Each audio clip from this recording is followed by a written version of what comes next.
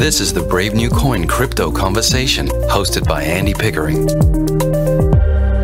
Hi everyone, Andy Pickering here. I'm your host, and welcome to the Crypto Conversation, a Brave New Coin podcast where we talk to the people building the future in the Bitcoin, blockchain, and cryptocurrency space. Before we get started, I want to let you know that we have a sponsor. Yes, this episode is brought to you by Nexo, the only provider offering instant crypto credit lines, which let you use digital assets as collateral to get cash in more than 45 different fiat currencies and stablecoins. In order to secure a loan with Nexo, you must first deposit collateral that will be used as a security deposit to repay the loan if you fail to do so. The cryptocurrencies currently available to serve as collateral are Bitcoin, Ether, Ripple, Litecoin, the Nexo token, Binance Coin, Stellar, and EOS. And new collateral options are being added all the time. Nexo also offers the ability to earn 8% daily compounding interest on your digital assets, euros, US dollars, and Great British pounds. Now, this is up to 130x what the traditional banks offer. And what's more, Interest is paid out daily, and you can add or withdraw funds at any time. Nexo launched in 2018, and since then, the company has established itself as the world's leading crypto lending service. So far, they have processed more than 1.5 billion for more than 550,000 users on their platform. And the company has 100 million in insurance on all custodial assets provided by the leading audited custodian BitGo. So don't worry, your assets are safe when using Nexo. Get started at nexo.io. My guest today is Muneeb Ali. Muneeb is the co founder of Blockstack. Muneeb has a PhD in distributed systems out of Princeton University. And I think, Muneeb, you have often described Blockstack as an idea that escaped from the research lab. But either way, welcome to the show. Really excited to be here. Now, it's a, a little bit of uh, an interesting time to be recording a podcast here in uh, New Zealand. It's Friday the 13th. It feels a little bit like Black Friday from where I'm sitting. How about you? Yeah, I think definitely it's tough times in many ways, and people are kind of like adapting to working from home, and there's like anxiety out there. As far as like we are concerned, like as a project. I think we feel a little bit good that we acted very quickly. Our team has been working from home for more than a week now. We hold a bunch of crypto. We actually rebalanced it way back, like before the crash kind of happened. And also that, you know, we as a project also did fundraising six months ago, right? Which was a lucky coincidence. Like obviously no one can predict these markets, but on a grand scheme of things, like I think we feel a little bit fortunate that we have a, a, bunch of capital in the bank. We know have our roadmap, and we actually had planning sessions around, hey, do we need to change anything? And the answer was pretty much like no we just need to keep doing what we are planning to do but i'm i understand that that is not the situation that a lot of other people would be in where you know their businesses are getting impacted there all these disruption that is happening out in the world and i'm i'm, I'm really sympathetic towards it and you, you, open twitter and you know you just see a feed of uh, everything that's going on Yes, you certainly do. And it, it, feels like things uh, are just beginning to accelerate now. I think you know, what a lot of people were talking about over the last month, you know, that situation has now come to pass and, and I think the markets have obviously priced that in and, and now you're going to see things accelerate. I think that, you know, the next month or so for, for good or bad, it's, it's going to be like living in a crazy movie, right? Yeah, so it's um, we did a. I think our last physical event was uh, sometime in February, so a couple couple of weeks, more probably three four weeks ago or something, and uh, we were co-hosting it with um, Balaji from uh, Nakamoto. So Balaji obviously has been a partner in Andreessen and was the CTO of Coinbase, and he showed up in masks, like N95 mask and a glove and all of that, and he was pretty much like convinced that this all of this is going to happen and we had a nice kind of like dinner afterwards and went into the details of all the preparation you could do or how it's going to impact the markets i think I came back from this was in Austin. I came back and started talking about the kind of steps I'm going to take, and my family members were like, "You are crazy, right?" Like Balaji is like three steps ahead of everybody. And they were they were telling me that you're crazy. Like you know why do you need to for example start storing like water in your in your house? Like you know the, people people don't uh, people will be like you are overreacting. Uh, and i didn't go through everything that i thought i should do after um, talking to Balaji But looking back, I absolutely should have, right? Like he was dead on right. He was on the right path. And he was just calling everything just a couple of weeks before kind of like a wider audience also reaches the same conclusion. Yes, you're exactly right, and yeah, I, I, completely agree. Couldn't have said it better. Following Balaji on on Twitter, he has been probably four weeks ahead of this thing. Everything he said has come to pass, and here we are now. So, well, where where are you based, Muneeb? Just to just so we understand where you, where you are. I understand your team is working remotely, and, and that's great. But but where are you? Yeah. So I think the company. So there's Blockstack, the project, and then there is uh, a public benefit corp, uh, Blockstack PBC. Blockstack PBC is mostly based out of New York, all, although like around forty percent of the employees are remote anyway but there we have a presence in the New York uh, City, and that's where I, I am as well. Okay, great. Well, let's start to talk about Blockstack then, and perhaps why don't you just give us uh, just the, the short summary of your background? So, you know, distributed systems, PhD, Princeton University, and and you know your uh, in, initial research there, and then how did that lead you down the blockchain rabbit hole to to where we are today with Blockstack? Yeah, happy to. Actually, I'll, I'll link it to um, something recent uh, that came out, which was um, this. There's this really famous book on computer networks. It's by um, the professor called Larry Peterson. I think if I'm, I'll need to look up the details, but I wouldn't be surprised if a significant portion of universities all around the world use that as a standard textbook for computer networking. I did. I grew up in Pakistan. My first computer networking course, I read that as a textbook of computer networking and I kind of like fell in love with the technology. I already knew I'm, I'm like I was like hacking away on uh, various kind of like Linux related things, but I took a deeper dive on computer networks and pretty much knew that I want to look under the hood and how the internet works, how these internet protocols work, and knew that I want to do a PhD in this field. Probably like two decades have passed since then, right? Last week we had this blog post saying that Larry Peterson's new version of the textbook, I think he's on edition five or something, now includes a section on Blockstack, right, as a new decentralized internet. And it, it, to me, very personally, felt like coming back full circle that the work that we've been doing is now included in that textbook for computer uh, networking, which for me was personally very, very satisfying. Uh, so, what happened in those two decades? I think I uh, kind of like took a deep dive on uh, internet protocols. So, distributed systems is kind of like the broader research community, and they're the people who kind of like built the early versions of the internet, the um, data centers and cloud computing, like most of these technologies um, can trace their roots back to uh, distributed systems. And in, in many ways, blockchains are kind of like not that of a heavily researched area in distributed systems. There are a handful of people who kind of like entered the industry and do active research there, but it's not a lot. It's not like cloud computing where you know everyone is uh, doing doing research on it and so on. For me, like I met my co-founder at Princeton as well, also a Princeton engineer, and I've been looking at these uh, next generation, what would a new internet kind of like look like problems for a while. My frustration was more like these ideas just remain like prototypes and they are all, someone writes a paper about it and it never gets commercialized or never goes beyond being a research paper. And I think you did a, um, uh, a great job describing Blockstack as an idea that escaped the research lab because really the early days of the company even where we raised venture capital and we're a bunch of computer scientists doing like hardcore R&D. We were even publishing papers, right? Like in 2016, we published a paper at Usenix uh, around Blockstack. My PhD thesis ended up being on Blockstack, and it's really about okay. We we all know that the internet is a 40 year old old technology.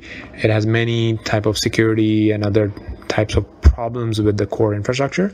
We're going to build a new one or maybe upgrade the existing one, but we want to do it in a way that's real. Like we, we want to have real developers, real users, uh, real adoption, and commercialize this thing, and not just uh, make it an academic exercise, right? And we, I think we've been very fortunate that a we discovered blockchains as a very elegant solution uh, for solving some of these technical challenges, and b the entire crypto industry developed, these efforts can get funded, they can raise capital not just from from VCs, but also from people who want to back um, these ambitious efforts towards building Web three or, or a new internet. Muneeb, really, uh, to kind of, you know, really try and nutshell this or put this in context, it's really all about decentralized systems versus centralized systems, right? That's one way to approach this. So if we why don't you just map out the, the current state of play? So you know it's it's 2020, and for most people, still, uh,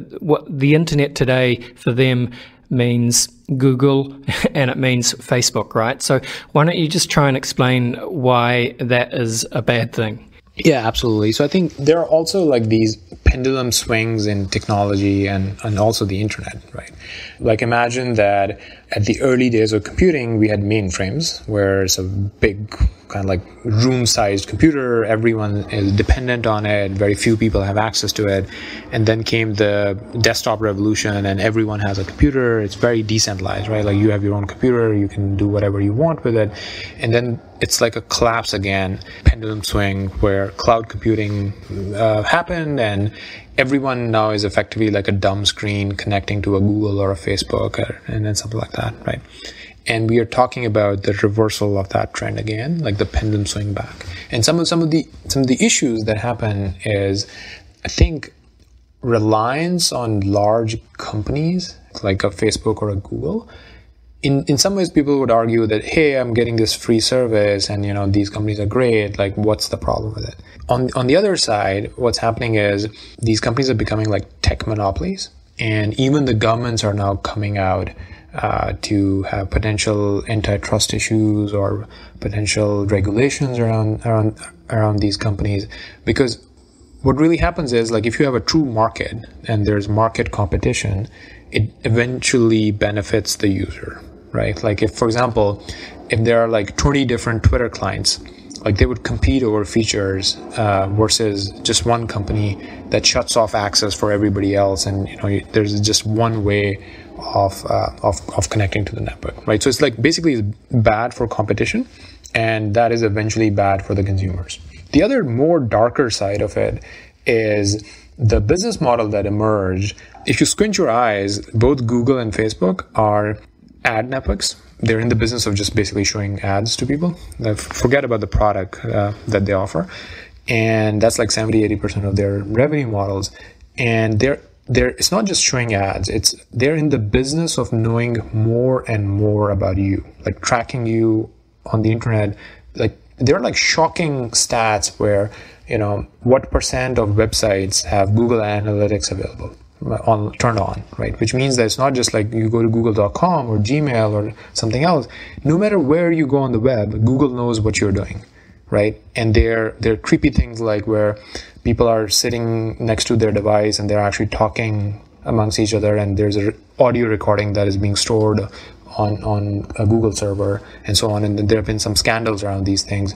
You're seeing ads based on a conversation you were having with your family member or your friend and and this world starts becoming dark very quickly right like there's this underground market of selling user data that's right. So we've seen, you know, mass data breaches, complete loss of user privacy, data privacy, uh, censorship, and you know, so we are seeing a, a growing mistrust of the big tech companies.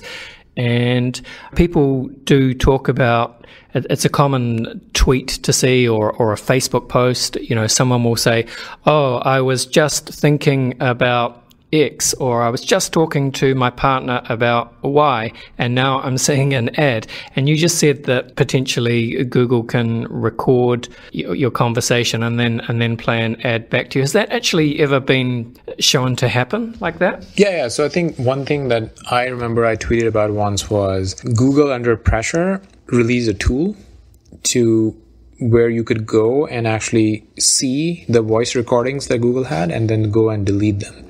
And I think I think this this just went viral on Twitter because I just had posted a direct link to it. Like it's it was like hidden somewhere in settings, and people would go there and they would be shocked at a conversation that they don't remember from three years ago that Google was recording, and now they were actually displaying it back to you, right? And I'll I'll, I'll try to like look it up, and maybe we can include that in the show notes. Sure. yeah. Hey, bring on Amazon Alexa, right? yeah. So all, all those devices are now dead in our uh, in our house. So yeah, uh, we had had them at some point, and uh, they are not there. And it's like I, I understand that you know I'm a tech nerd. I'm kind of like working on privacy technology. I'm not a normal internet user, but I'm already at a stage. I think things become clearer as soon as you shift the conversation from Google and Facebook, which are like US companies, people kind of generally trust them, uh, to China. Whereas talking to certain people in Asia, I do have WeChat, but I don't want to give WeChat microphone access on my normal device. So I have a burner device. It's basically like if you give uh, WeChat access to your microphone, what you're saying is the Chinese government can now listen to anything that you're saying. And it's probably written in the T's and C's, you know, and let's say, you know, corporate language or whatever, but of course no one reads the T's and C's. So, yep. Well, look, okay, so we've established what is bad about the current system then, and there's a lot that's bad. So, what's the thesis then behind? I, I, don't know if you want to characterize it as the Blockstack thesis or the Web three thesis or the decentralized internet thesis, but yeah, let's let's start to paint a picture of what the what the flip side to this equation is. So, how can we build a, a new internet that protects users and we have uh, we have individual control over our data to the point where we can you know we can monetize our data and we all have control. So, what what does that start to look like? Yeah. Uh, I think I, I, can tell you the Blockstack version of it, and there are sure, obviously sure. other other projects, and I can maybe get into a little bit about how our approach is different. So mainly, I think we've, we've done a lot of thinking on this, and I think we've boiled down even things like privacy to something more fundamental, and that is ownership, right? So we call um, Web3 a user-owned internet, right? In our in our kind of like terminology, and I think user ownership is super important, and I'll tell you why.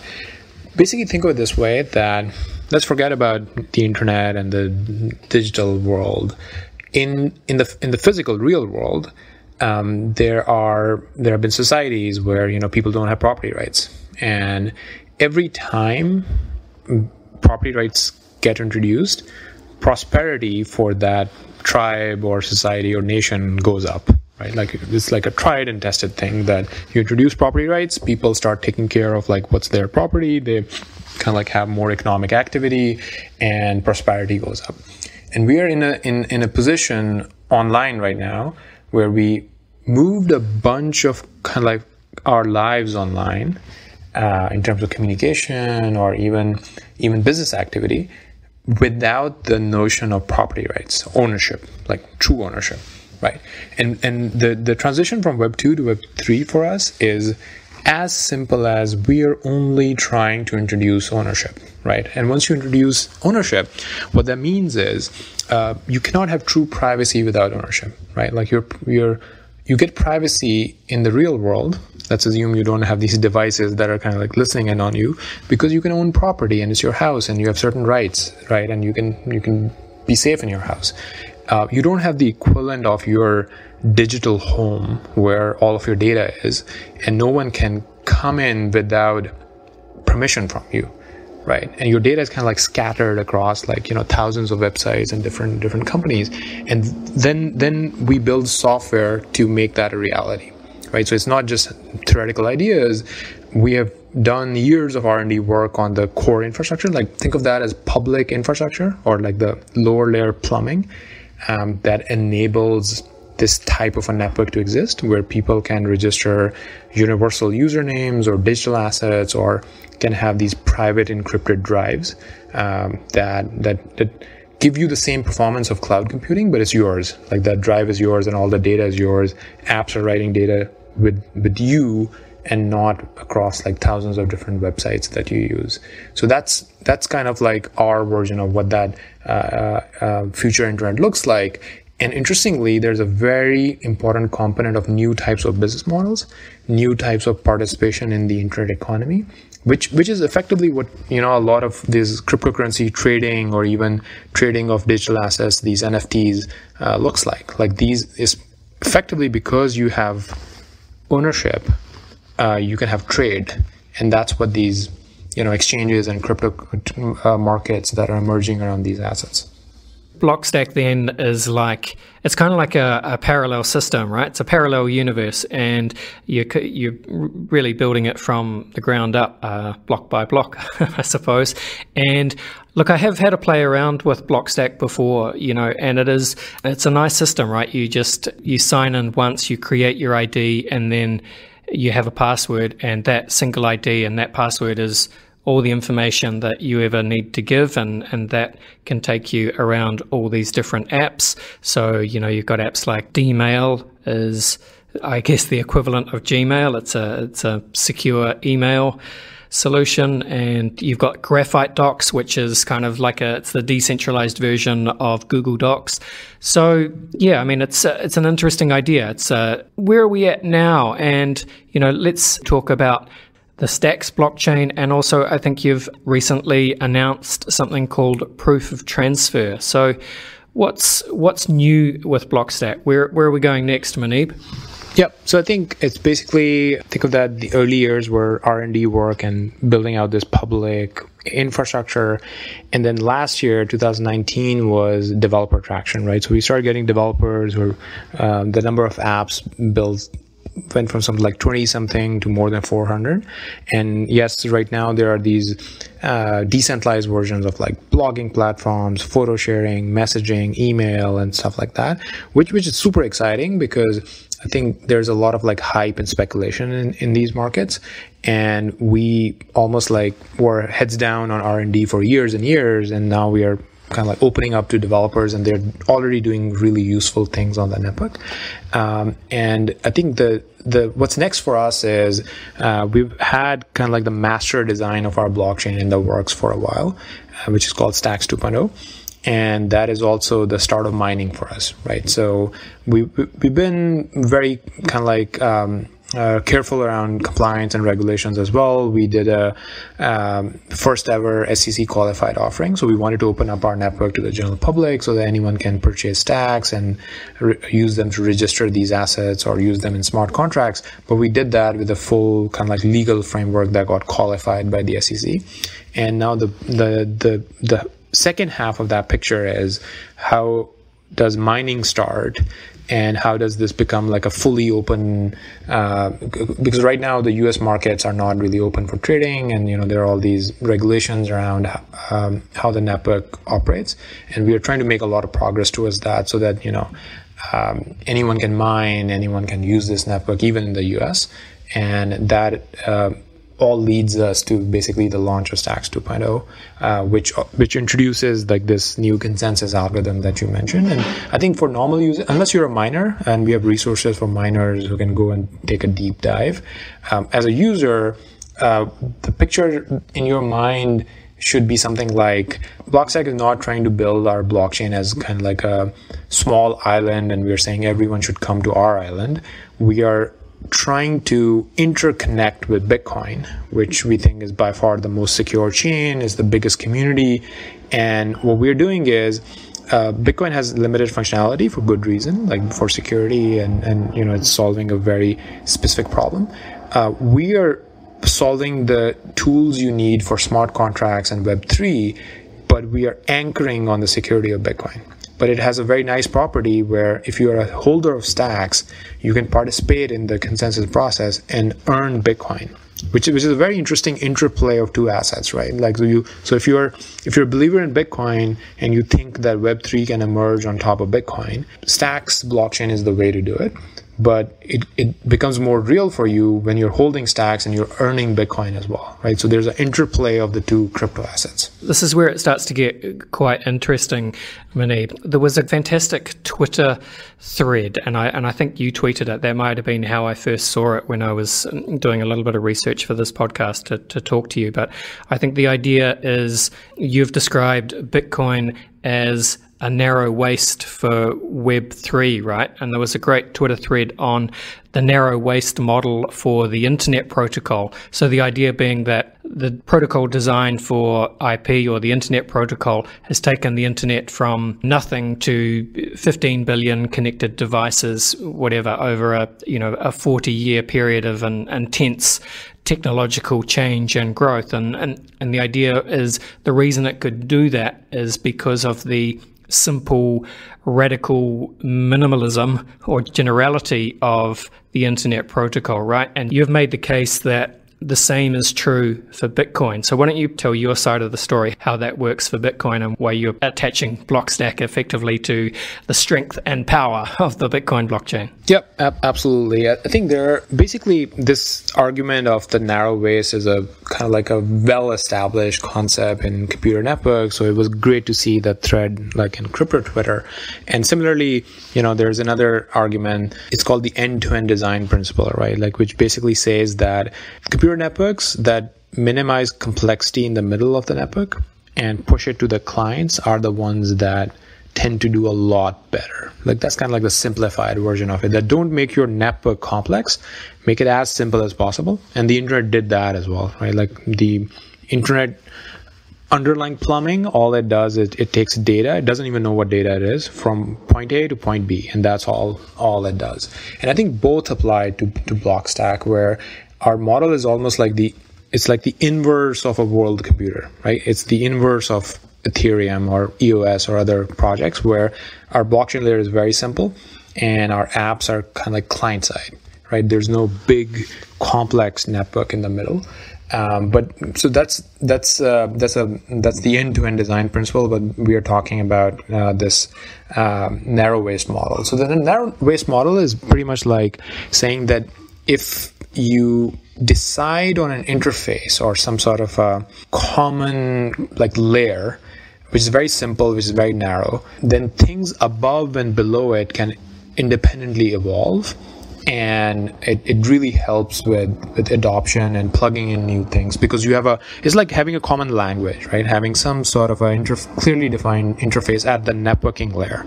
And the internet did that with ip uh, like imagine like all these new types of like for example wi-fi uh, a new technology came in. You could just plug it in in and the internet still works with wi-fi right? And that that is a result of the uh, of the narrow waist similarly these apps these new types of apps keep coming up on top of the internet and they just seamlessly work with the rest of the layers and it's because the interfaces are very well defined.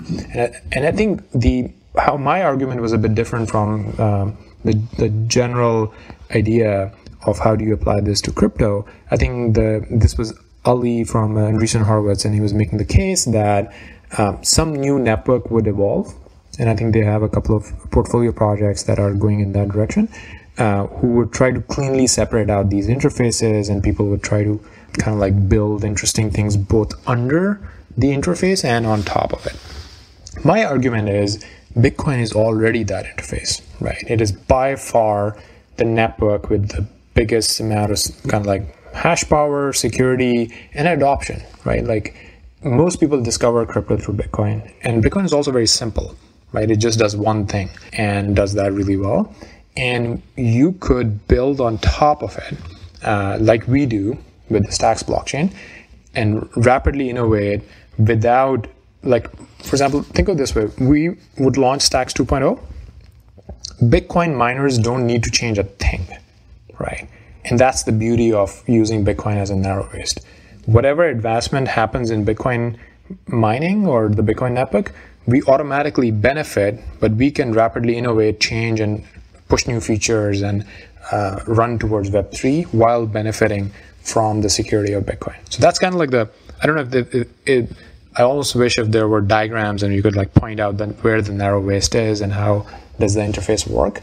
But we're definitely taking the bet that uh, Bitcoin is going to be that narrow waist instead of some some new protocol that either doesn't exist right now or um, exists on a isolated island and everyone would go and start living on that island. Like, what we're saying is Bitcoin is by far the biggest ecosystem already, and Web3 is going to emerge on top of it. Yeah, I mean, I think it's just it's such a simple and powerful idea. You know, uh, attaching the idea of Web three or building Web three on top of the simplest, strongest, biggest, most network affected blockchain, which of course is Bitcoin. And I just from a like a technical point of view, can Bitcoin handle these kinds of kind of integrations? Is there anything, any risk of you know if other projects start to do the same idea? Is there a risk of you know slowing down or clogging Bitcoin as a whole? Yeah, it's a it's a great question, right? And I would actually say that it's a it's a very fundamental thing where um, I think a lot of people, including Vitalik, um, who went off and created Ethereum or other projects because they thought that you can't really change Bitcoin. So how do I innovate on top of Bitcoin? I think it's a fundamental tension, and that's why we feel very excited about our uh, POX mining work because it solves that particular problem. Basically, what we've done is what we're saying is Bitcoin is secure because it has a limited scripting language and you don't want to change that. It's it is actually a feature that you don't want to change that and have a full kind of like smart contract language. Similarly, Bitcoin is reliable because it is durable and it doesn't change, right? Which is a feature, right? So instead of trying to kind of like fight Bitcoin by saying, hey, Bitcoin, you need to change and you need to like store more data or you need to have a fuller a smart contract language or you need to be more open to just upgrading the protocol more quickly.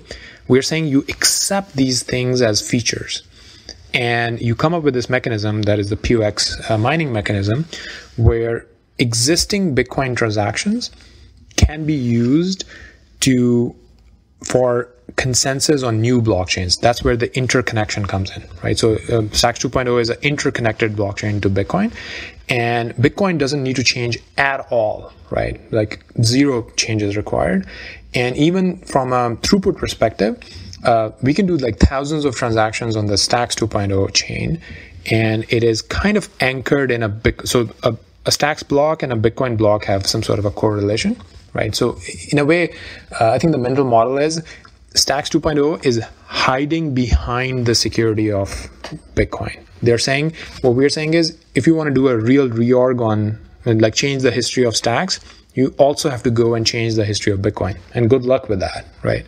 So we're we're shielded from these attacks because of the security of Bitcoin, but we're doing most of the transactions and throughput on a separate chain, and we're not clogging Bitcoin either. So I think it's it's a very powerful idea. It, it, looks simple, but it's a very powerful idea because you're embracing Bitcoin for what it is and at the same time extending it and benefiting from it.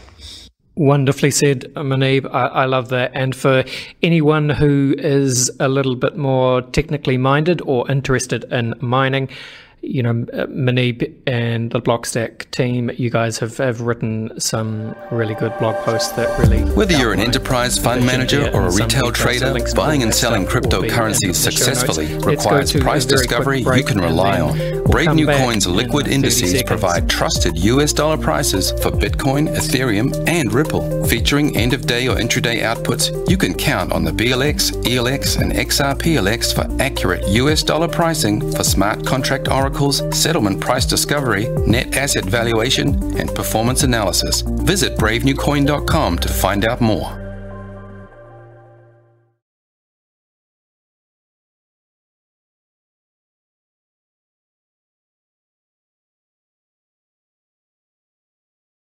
All right, we're back, and I am with Muneeb Ali, who is the co-founder of Blockstack.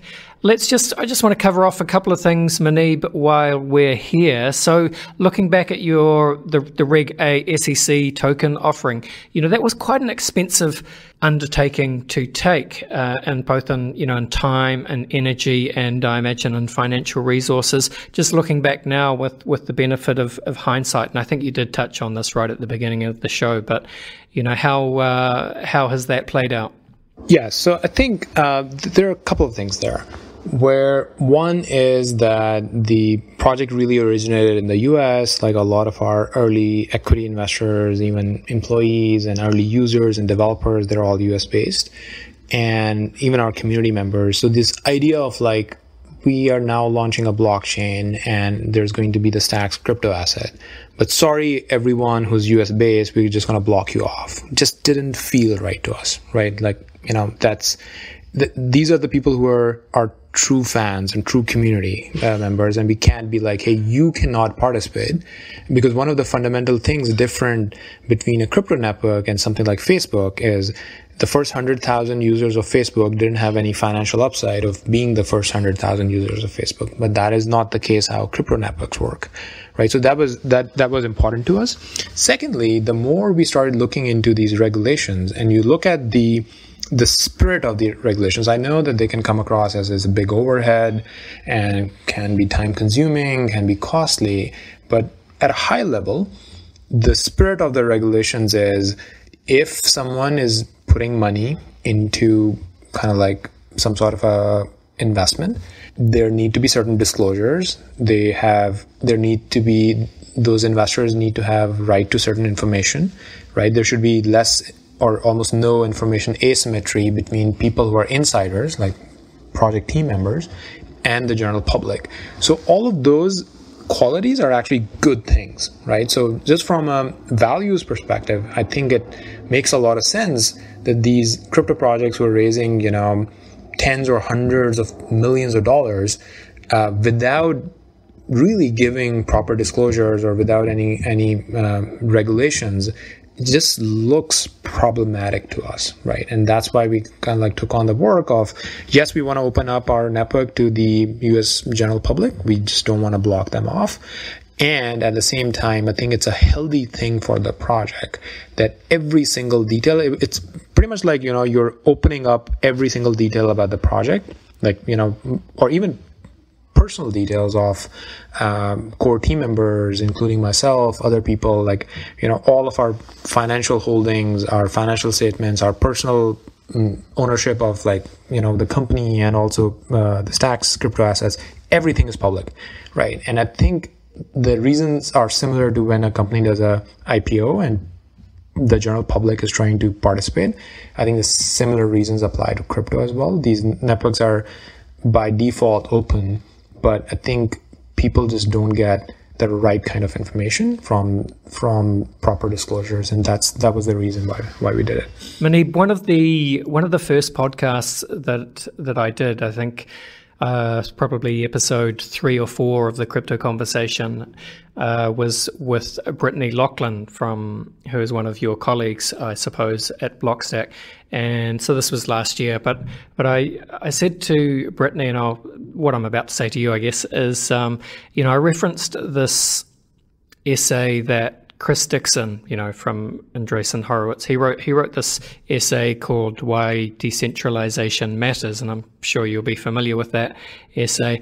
But you know, one of the the points he was making there, I think, was he said, you know, the, the question of whether decentralized or centralized systems will win in the next era of the internet perhaps comes down to who will build the most compelling products, which in turn reduces down to who gets the best developers and entrepreneurs. And you know, Chris called this the chicken and the egg problem, right? So the idea being, you know, it's it's difficult to get users onto a new platform or a new paradigm, if you like, uh, without compelling applications, but on the flip side of that, it's it's also difficult to get developers to participate in that new paradigm or help build it out if there isn't an existing user base there. So yeah, I, would just love to get your thoughts um, from you know the I guess the the macro view or the big picture view, or you know I guess what I'm saying is how how do we really kickstart Web three, or how do you kickstart the the growth of of Blockstack, and how do we get real traction?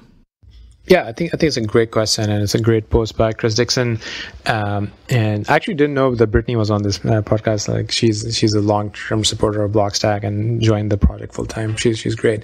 Basically, I think uh, the way we look at this, I absolutely agree that um, developer traction is really important. And there is a chicken and egg, and I think we have, what we have tried doing there is that uh, we were throwing incentives at the developers. We ran this uh, app mining uh, program as a pilot for a year, year and a half, which was basically trying to automate ranking of these applications and give a distribution of stacks tokens to these developers. And I think uh, it, it worked really well. We went from you know uh, 20 or something apps to more than 400. Uh, so you're trying to solve the chicken and egg problem by basically giving developers incentives. Uh, but I think there there are uh, certain things we can improve about the program, because uh, developers can really, if you automate this too much, they can start kind of like gaming the system and gaming the metrics instead of actually building high quality apps. And our our lesson has been that there might be a need for a human in the loop, right? Like some sort of um, you, you don't want to fully automate this, and the next iteration of that might might uh, incorporate these lessons.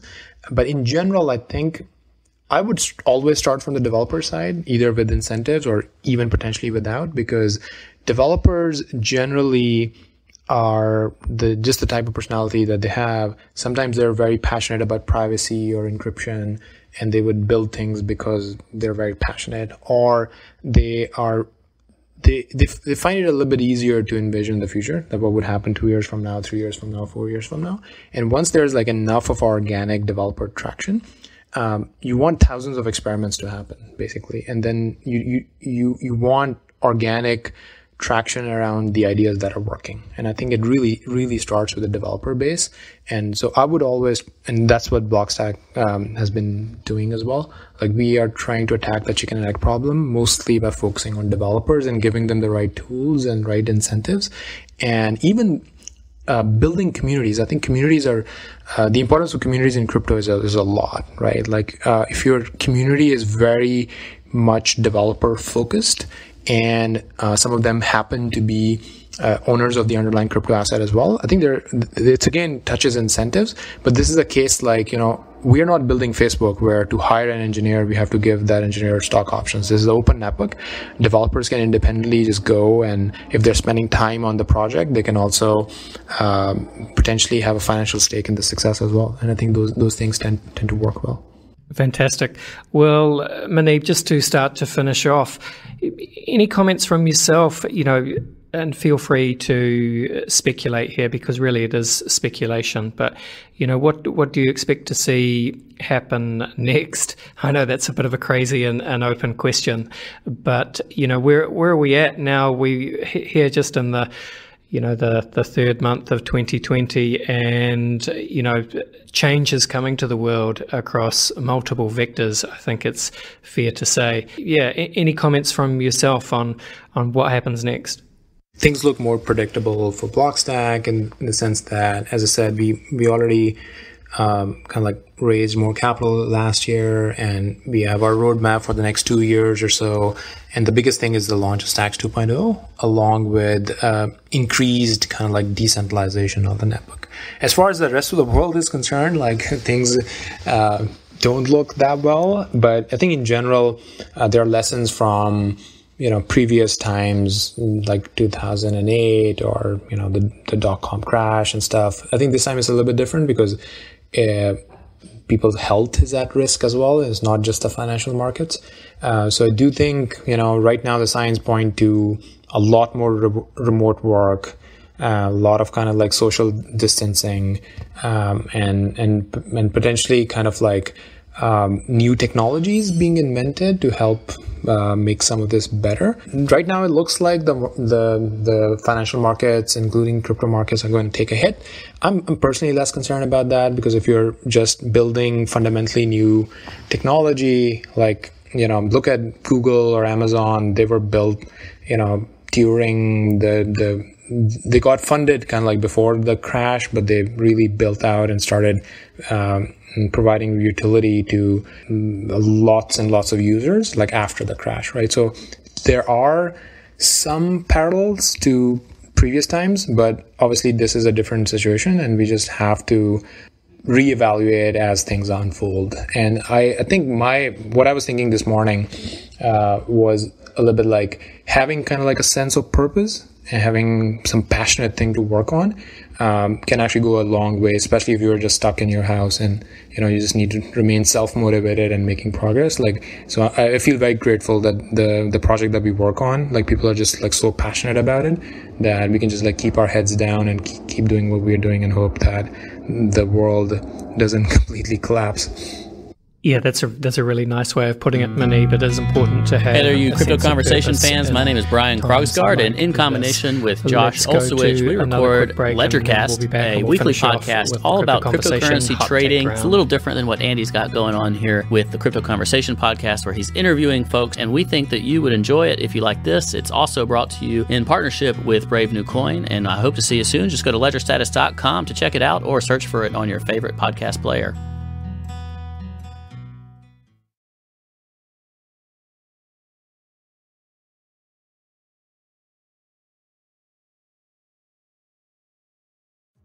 So, Muneeb, I like to finish each crypto conversation podcast with a quick round of rapid fire crypto conversation hot take questions. Are you up for it? Absolutely. All right. So, I just want your hot takes. Muneeb, where do you sit on the Bitcoin maximalist to multi coin opportunist spectrum? Uh, I think I'm definitely not a maximalist. I let's say somewhere between a Bitcoin maximalist and whatever the, the medium is. Sure thing, sure thing. Makes sense.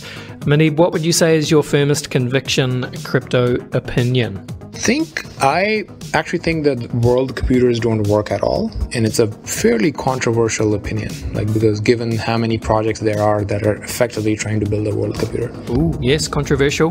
Okay, Muneeb, look, I ask every guest this question here on the Crypto Conversation Who wins the American presidential election 2020? So I'm I'm not a Trump supporter, but right now I, I just don't see anyone beating him. Whatever happens in the US in the months to come, it's going to be a very, very interesting election this year, isn't it? Yep. Good answer. Yep, I agree. All right. Muneeb, Bill Gates famously said, We tend to overestimate what we can accomplish in two years and underestimate what we can accomplish in 10. What does the blockchain space look like in 10 years' time? I think it's entirely possible that a lot of the um, technology just becomes invisible to people right? Like think of cloud computing. Like people don't think about data centers or consensus protocols and this and that. It just works and it's in the background. And it just gets integrated with the existing internet. I do think that it, even though Blockstack is like, hey, we're building a user-owned internet, it's entirely possible that it looks like an upgrade and it's invisible to the general internet uh, population. Right now, we're at a stage where these smaller crypto projects are just kind of like fighting with each other about, you know, this consensus protocol and not that. In the grand scheme of things, none of that matters. And I think these technologies is effectively, there will be some consolidation and then these technologies just disappear under the general internet. I think you're exactly right, Muneeb. But I think that answer was a little bit too easy and too obvious for you. So let's just push it out one step further. You're building Web3 what does Web 4 look like? I think Web 4 in my mind looks like A, the problems that the current generation, so there's a previous generation, let's say people were working on the internet in 1980, and we are trying to fix the problems that they left on the internet, right? In a, in a way. And it's a very interesting interaction with the founding fathers who are still with us and some of the founders of these new projects. And, and there are events where, you know, that type of interaction happens. Um, 20 years from now or so, there will be a new generation of scientists who will be fixing the problems that these this generation left. Plus, there might be um, byproducts that we're not thinking about, like things that we caused. Not that we didn't solve a problem, but we our solution resulted in new problems, and I think they'll be they'll be trying to work on those. Fantastic. All right. Well, Muneeb William Gibson said the future is already here. It's just not evenly distributed. Can you think of an example of the future being here right now, but most people just aren't really aware of it? Yeah, I think um, one thing is um, just just even look at the opportunities available to people around the world to directly invest in Silicon Valley type companies. Right? People don't even think about it. In a way, it's technically possible with crypto assets, like regulations aside, uh, and even the regulations are getting better. I think right now not even 0.1% of the global population participates in this, right? Whereas if you tell them what it means, everyone would love to be a investor in an asset like like uh, like tech startup companies from Silicon Valley. Very nicely said again. Muneeb, we're almost done, but let's zoom out. What is the long-term future for the human race? Do you see dystopia or utopia? I think I'm generally on the end of uh, being a positive person, even on days like today. Uh, so I'm definitely in that camp. I am a big believer that it, it's all a simulation anyway. So just things just can't go too wrong. Right. and if it is a simulation, boy, whoever is pulling the strings and pushing the button, they, uh, yeah, they've, they've put us on turbo, it feels like at the moment. Finally, Muneeb, what is your favorite science fiction book, film, show, universe, or simulation? Uh, it's Snow Crash. Nice. Actually, my, my PhD thesis uh, it starts with a quote from Snow Crash. Perfect. That is a wonderful place to finish, Muneeb. So I think we better call it there. Take us out. The microphone is yours. Tell the people where they can find you on your various platforms and where they can go to learn more about Blockstack. Yeah, so I think our, our community is at a couple of places, but the links would be on blockstack.org. There's a Discord, there's a Telegram, there's a forum that actually uses Blockstack. So you log in using the Blockstack ID and it's um, it, it, uses the stack, which is pretty cool. Uh, we're pretty active on Twitter. On Twitter, uh, it's just my first name at Muneeb, M U N E E B. And we also have at uh, Blockstack. Fantastic. And just to finish off, Muneeb, Snow Crash, Neal Stephenson, what was the quote that you used from Snow Crash? I think it was around some early version of the the, the, virtual reality or the simulation software where you know how they would kind of like ride these bikes in the at night and those bikes bikes are like code right? Like you write the code and it's like a vr environment and you're kind of like writing them. But they were pondering upon how simple the first version looked like. Like it didn't really look like a, a fully developed world and it's it's just reminds me of like kind of the work that we're doing it looks like the v1 of like this future internet and it's very barren but it, it's it, it can hopefully turn into something much much bigger. Building out the metaverse. Hey, thanks, Muneeb. All the best. Stay safe out there. Same here. Uh, awesome being here. Thanks a lot. Okay, well there you go. Thank you to Muneeb. Thank you to Blockstack. I hope you enjoyed that episode of the Crypto Conversation podcast. Links are in the show notes to a Blockstack, to the proof of transfer stacks, blockchain mining details, also to simulation theory, to Snow Crash and a link to the tweet that Muneeb mentioned from a little while ago when he was pointing people to Google's voice settings. So all of that is in there. Stay safe out there. It is pretty crazy time out in the world. As I record today, it is Wednesday, the 18th of March, and this is the last day that we will be in the Brave New Coin offices as we divert to a work from home protocol, as I imagine a lot of people working in tech around the world are doing right about now. So, hey, stay safe out there and see you on Twitter if you want to get at me at Brave New Coin or at Andy Pickering NZ. Stay safe. This was the Crypto Conversation for Brave New Coin. See ya.